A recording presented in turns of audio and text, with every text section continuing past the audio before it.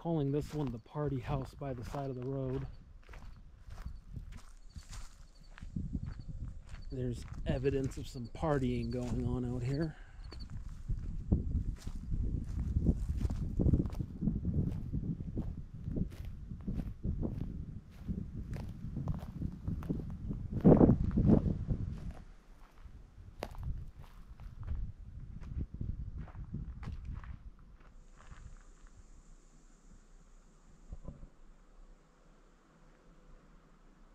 Not much left of this one either.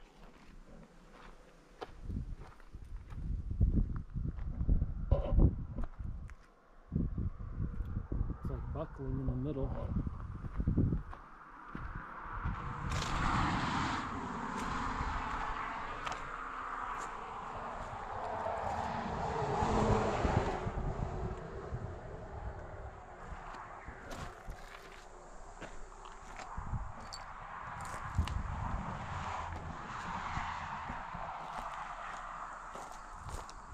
I wonder what this was. I guess this is like a well or a pump of some sort. I'm guessing that's what that little brick building is over there.